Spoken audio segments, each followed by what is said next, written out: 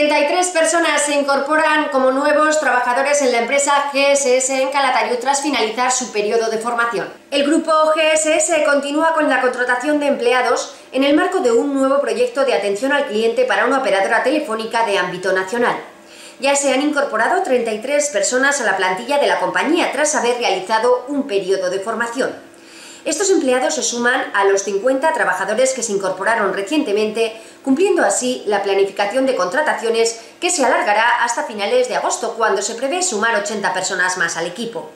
La firma de telemarketing, ubicada en el polígono de la Charluca, ocupa con este contrato a 400 nuevos empleados, los cuales realizan un periodo de formación previo.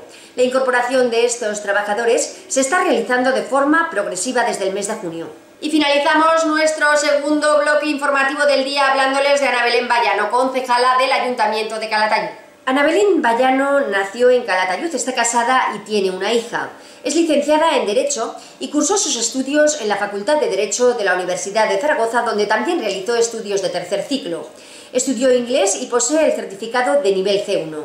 Es abogada en ejercicio con despacho abierto en nuestra ciudad.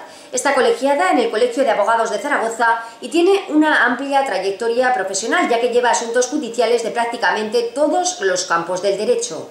En el ámbito político pertenece al Partido Aragonés desde hace ya 20 años y fue concejal de Bienestar Social por esta formación política en la legislatura 2007-2011, así como concejal también en la oposición desde marzo a junio del 2015. Actualmente ha vuelto a la política activa, formando parte de la presente legislatura, siendo portavoz del PAR en el consistorio bilbilitano. Es representante del Ayuntamiento en el Consejo Municipal de la Escuela Oficial de Idiomas Johan Fernández de Heredia de Calatayud y de la Fundación Goya Fuente Todos. Y finalizamos aquí nuestro informativo diario. Les dejamos en compañía del canal Andalucía. Tengan un feliz día.